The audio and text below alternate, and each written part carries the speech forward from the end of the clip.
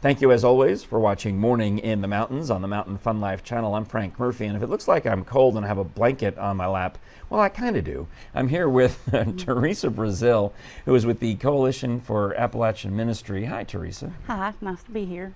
And you've got a craft fair on September 20th and 21st. So, some of these beautiful items that you've brought to display, including this really great quilt, a purple and flowers quilt uh, these are the type of items that are for sale?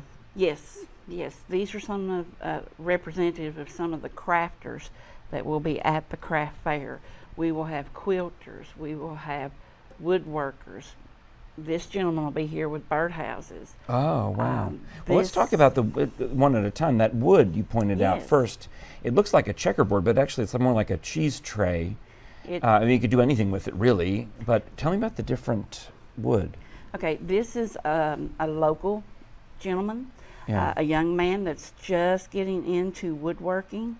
And this is two different kinds of woods. This is walnut and maple. Uh, Mixed together. Me, three kinds. This is cherry, I believe. Oh. And he has cut the wood and and fixed it together. Don't ask me how. Yeah. Um, and it's made a little dish. It could be used for keys change. Yeah. Uh, candy. Checkers. You could put checkers, checkers in there. You could do checkers.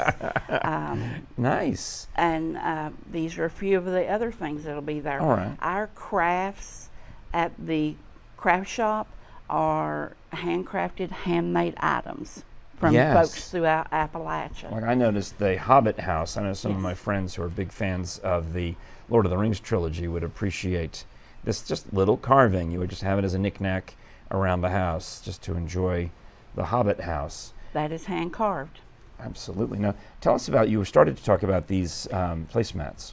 Well, this is um, a local lady. Her family goes. Let's hold that up too. Yes, this is a table runner. Oh, it's oh a runner, yeah. And it's weaving, and this is a family that has lived here in the mountains long time, uh-huh. and her family has she is the sixth generation weaver in her family. Wow. And this particular pattern, I had it backwards, oh. is called Whig Rose. And a little juicy bit of information when the park had its 75th anniversary, yeah. they commissioned her to do a weaving of this for the park wow. anniversary. Oh, that's lovely.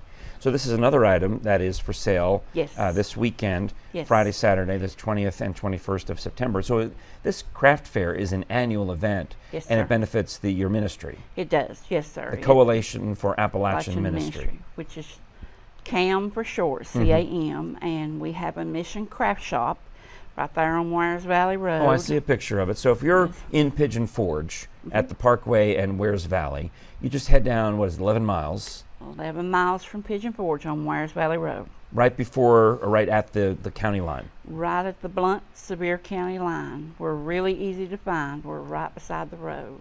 Oh, nice. And uh, this is a hand carved bowl of, uh, of cedar, mm-hmm. eastern red cedar, and of course the quilts and every other type of thing. Yes. So, over the years, how long have you been involved in this ministry and this craft fair?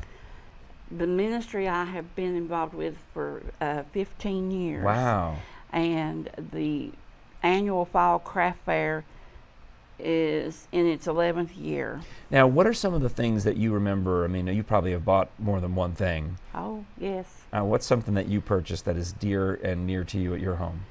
Well, I have um, one of my favorite things is a little hickory nut doll that's about this big. Yeah and it's the head is a hickory nut, and uh, she made the lady made the dress, everything. Oh, and wow. she's really tiny but really cute. So that's the kind of thing that the earlier settlers might have made to make mm-hmm. toys for their family, or yes. a birdhouse for the, or any of these types of things. And I have some of this weaving. Yeah. I have a quilt that one of my crafters made. Um, stays on my bed a lot. Now, what about you, Teresa? What do you like to do as a crafter? Well, this is the joke. Um, everyone asks me that question. Sure. I cannot craft. Oh, come on. really. I cannot craft. So your gift is to get out and help your crafters sell their wares. yes, that's, that's your what we do at the craft shop. Is I represent them. We sell the crafts for them. A lot of my crafters are going to be senior citizens, Yeah. And this helps supplement those low oh, incomes Oh, that's for them. beautiful. So this craft fair is a big day, September 20th, 21st, Yes. Friday, Saturday, to go buy everything at once. But the shop is there year round, It yes, it is. and we can find you there year round. yes, you can. All right, 11 miles from Pigeon Forge, Wears Valley Road, right before you get to Townsend. So technically, your mailing address is Townsend, but it's easier to say get there from Pigeon Forge, 11 miles. Right. Yes, sir. It's easier. Yes. Well, delightful. Well, Teresa Brazil, thank you so much for telling us about the Center for Thank Appalachian Ministry and about these beautiful craft items, which I guess I have to give back to you now. Yes. I can't stay here. Of course, you can buy it. All right. I ju- yes, I'll have to bring my, my checkbooks to work starting next week.